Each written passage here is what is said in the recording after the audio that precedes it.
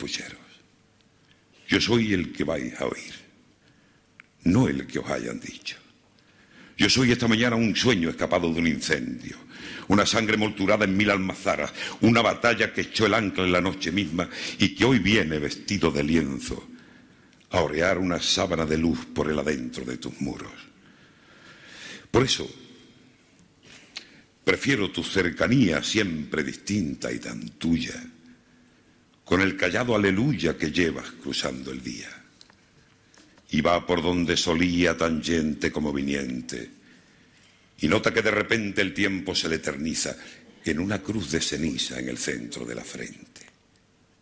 Miradla, diosa dormida navegando por su sueño, despreocupada, sin dueño, pero con rumbo a la vida.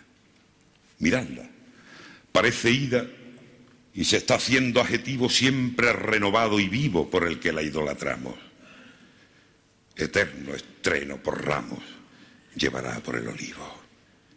Y tú sigues ahí, dormida en el sueño que has elegido, sabedora de que la espera tiene que esperarte, sabedora de que todas las cosas deben esperarte, si quieren ser las cosas. Tú a lo tuyo, diciéndole al tiempo cuál es el ritmo del tiempo preciso, que en ti hay un tiempo que es otro tiempo, tu tiempo. Lo sé desde que vine a verte la primera vez. Eras una muchacha vestida de clesidra que iba dejando caer a capricho las gotas de agua. Y lo mismo goteabas con precipitación de techo de tablas bajo la lluvia, que dejabas engordar la gota hasta que tardaba seis semanas en caer. Tu tiempo. Tú tienes dentro un tiempo que condiciona a la gente de tu paisaje urbano, como yo tengo dentro un tiempo que me condiciona, un tiempo que se mide por manillas de luz abierta. Tiempos distintos, muchacha. A mí me da vértigo tu segundero, y a ti el mío quizá pues se te oxidara entre las horas, incapaz de seguir el paso de tu aire. Tu tiempo y el mío solo coinciden cuando se trata de retenerlo, de meterlo en una jaula de cristal donde canten sin prisa la misma canción de víspera. Somos tan distintos en tantas cosas. Los de allí, los que siempre te veíamos en la distancia como se ven los sueños de las estrellas, cuando nos acercábamos a ti lo hacíamos sin querer despertarte, sin querer que nos notaras. Y queríamos hablar como los tuyos, fino. Y cuando queríamos imitarte, nos salían eses que se trabucaban con las zetas. Y aún inventábamos plurales y añadíamos sílabas por nuestra cuenta, en la creencia de que aquello era hablar como los tuyos. Y si nos comíamos una S porque sonaba más fino decir andalias, nos inventábamos una D porque nos parecía más rotundo decir de exageración. Vaya lo que quito por lo que pongo.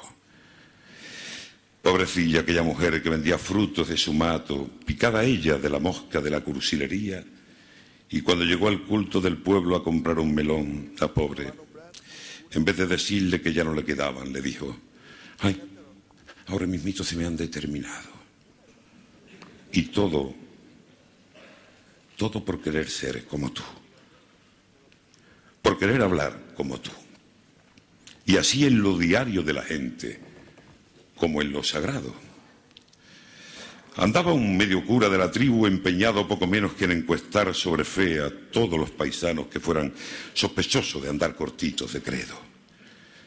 Manuel el arriero venía reando sus borricos por la carretera que cruza la tribu como calle principal. El medio cura al paso le preguntó que si creía en Dios. Por novia cree mi alma, si lo dice hasta la copla, que de allí va a venir a jugar con los vivos y con los muertos. Y siguió su camino. Quizá imaginando un Dios que se tomaba la resurrección como un día de fiesta entre la plaza del pueblo y el cementerio. Pero había que entenderlo. Este mismo medio cura no escarmentaba y enterado de que una gitana que vivía en los trascorrales no había hecho la primera comunión, se empeñó en conseguirlo. Cuando la gitana podía, que eran muy pocas veces, el paisano trataba de prepararla de viva voz porque la pobre mujer no sabía ni leer ni escribir. Y todo el empeño del paisano, todo el empeño era dejarle claro que en la hostia consagrada estaba el Santísimo Sacramento. Que esto no se te olvida, Antoñita, el Santísimo Sacramento. Pero también, ¿para qué lo haría? Le habló de la Virgen, del Niño Jesús, de San José. Y la pobre gitana tenía en la cabeza un catecismo trabucado, incapaz de organizar con él un celestial libro de familia. Llevaba la gitana cuatro o cinco días sin ir a recibir clases de preparación. Una mañana que pasaba la gitana vendiendo canastas, vio venir al instructor y aceleró el paso, excusándose de que tenía mucha prisa. El paisano, sabedor de que el día de la primera comunión de la gitana se venía, corrió hacia ella y, examen al paso, le preguntó, a ver, a ver, a ver, Antoñita, ¿quién está en la hostia?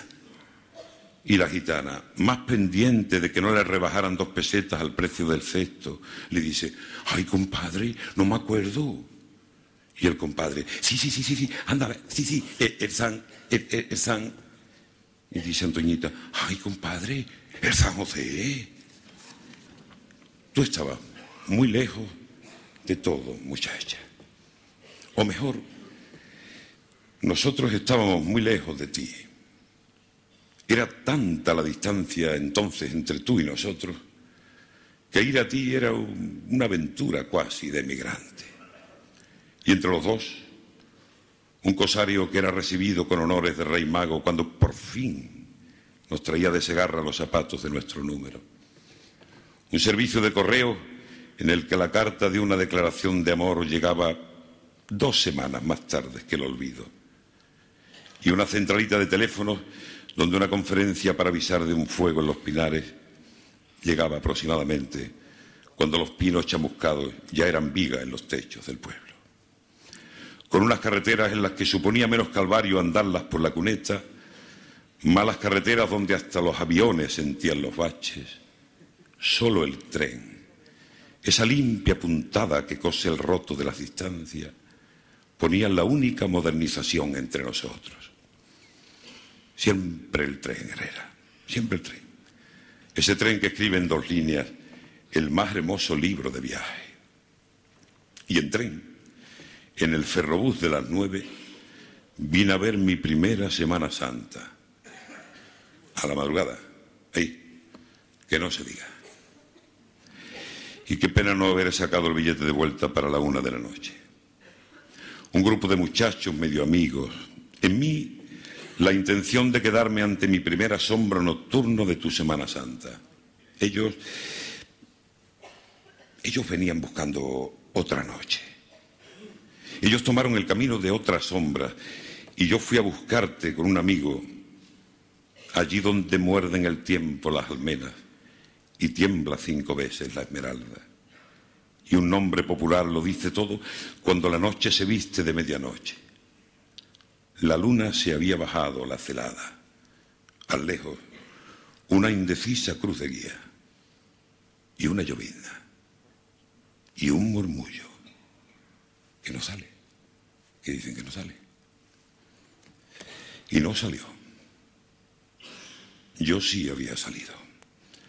La llovizna seguía empeñada en su manuscrito vertical y empezó a engordarle la tinta. Y sin paraguas. Mi amigo no necesitó ni un canto de gallo para negarme. Y se fue. Me abandonó. Y aunque nadie me leyó nada, estaba sentenciado a pasar la noche por mi particular camino de la cruz.